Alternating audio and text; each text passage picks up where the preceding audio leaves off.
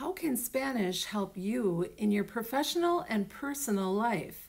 First of all, there are many Spanish speakers throughout the Western Hemisphere and throughout the world.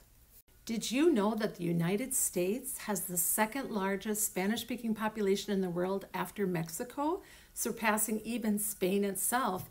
In the United States, there are over 40 million native Spanish speakers, heritage language speakers, and second language speakers.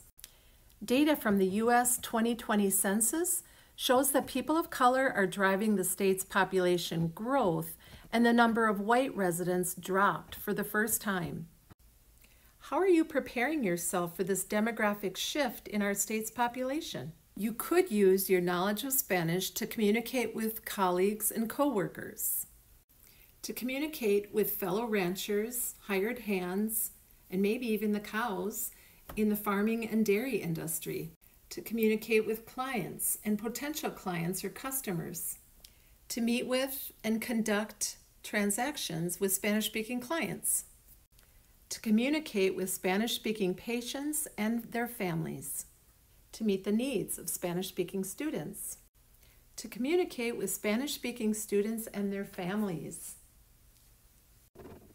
Travel far and wide Use your Spanish to navigate the 22 Spanish speaking countries, enjoying a deeper connection with fellow travelers and local hosts.